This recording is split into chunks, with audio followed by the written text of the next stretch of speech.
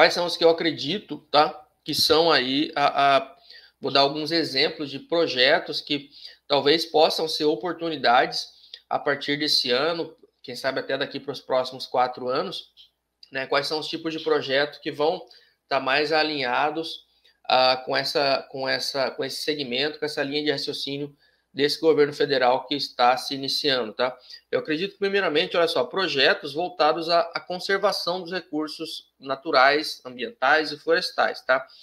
Uh, um exemplo que eu vou dar aqui é de projetos relacionados a crédito de carbono, tá? Eu até anotei aqui.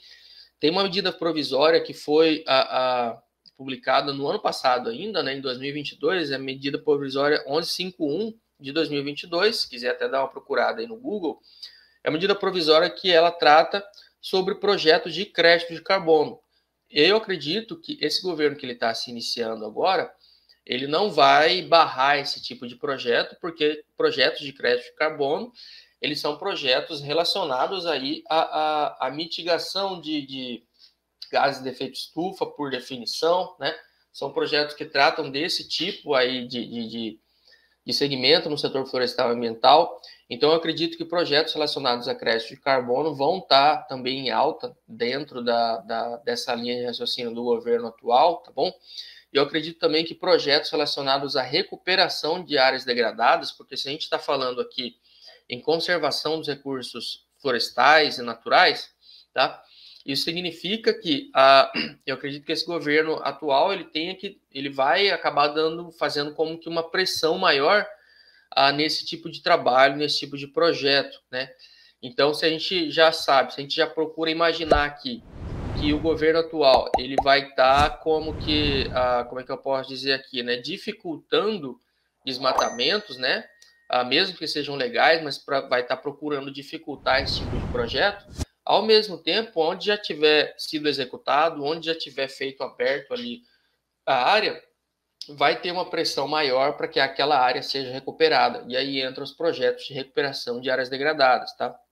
Então, eu acredito que isso possa ser uma boa fonte de, de, de projetos, de licenciamento, de recursos, de análise para vocês também, tá bom?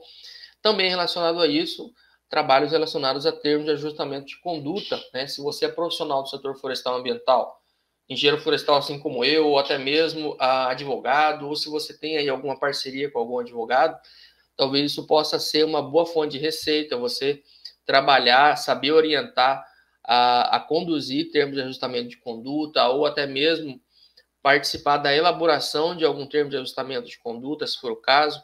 Então, isso também possa ser aí uma, uma boa fonte ah, de receita, de projeto, de consultoria para você também, tá bom?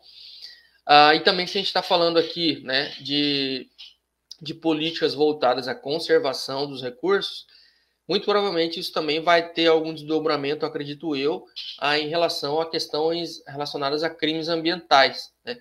Ou seja, vai ter, é, acredito eu que vai ter aí como que uma pressão maior nesse tipo de, de, de análise nesse tipo de, de, de segmento, de pressão aí do governo federal, tá? Para que sejam ah, tratados também essas questões ali de crimes ambientais, né? Se um governo que acredito eu que ele vai estar tá, é, como que fazendo uma pressão para que não seja explorado, caso seja explorado, dependendo da situação, possa ser até tratado aí como um crime ambiental, tá bom?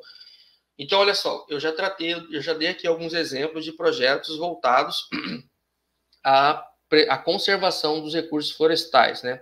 Conservação ou preservação, dependendo aí do caso, tá?